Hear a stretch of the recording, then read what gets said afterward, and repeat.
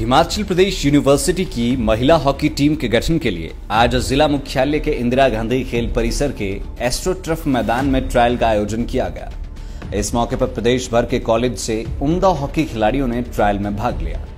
Trial के लिए पहुँची करीब 45 खिलाड़ियों में से अंतिम 23 का चयन किया गया है। दिसंबर महीने के अंतिम सप्ताह में प्रस्तावित नॉर्थ जोन इंटर यूनिवर्सिटी महिला हॉकी प्रतियोगिता के लिए इस टीम का गठन किया जा रहा है। इस दौरान पीजी कॉलेज ऊना के प्राचार्य डॉक्टर त्रिलोक चंद, युवा सेवाएँ एवं खेल विभाग के hockey coach Ashish Sen, PG college Una के शारीरिक शिक्षा विभाग के प्रमुख डॉक्टर विनोद और हॉकी हिमाचल के विभिन्न पदाधिकारियों ने भी टीम के गठन के लिए खिलाड़ियों का ट्रायल लिया। तो जो हमारी women hockey inter university north zone की चैंपियनशिप कुरुक्षेत्र यूनिवर्सिटी में होने जा रही है।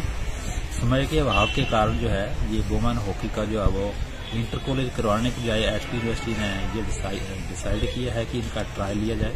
तो आज 11 दिसंबर 2021 को जो राजकीय महाविद्यालय ऊना में जो हमारी inter university north zone Kurukshetra में एच पी यूनिवर्सिटी की टीम जाएगी।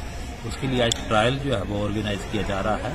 तो सिलेक्शन कमेटी जो आज 45 जो हमारे यहाँ प्लेयर जो है वो यहाँ परफॉर्म कर रहे हैं। इन 45 प्लेयर्स में से कुल जो 23 प्लेयर जो है, आज की जो हमारी सिलेक्शन कमेटी है, ये सिलेक्ट करेगी।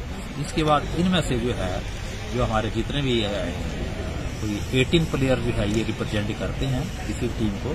तो इन 23 में से जो आगे फाइनल सिलेक्शन करे होगी, वो इसके बाद लाइव टाइम्स टीवी के लिए ऊना से अमित शर्मा की रिपोर्ट हिमाचल के सबसे बड़ी ऑटो डीलरशिप गोयल मोटर्स में नौकरी करने का सुनहरा अवसर। सोलन, शिमला, सिरमौर और किन्नौर में चाहिए। Sales executive, service executive, field executive, motor mechanic और ड्राइवर, शानदार करियर संभावनाएँ व इंडस्ट्री में बेहतरीन सैलरी पैकेज। तो आज ही कॉल करें nine four one eight zero three five three seven two और ईमेल से भेजिए अपना biodata H R at the rate Goyal motor dot com आरोप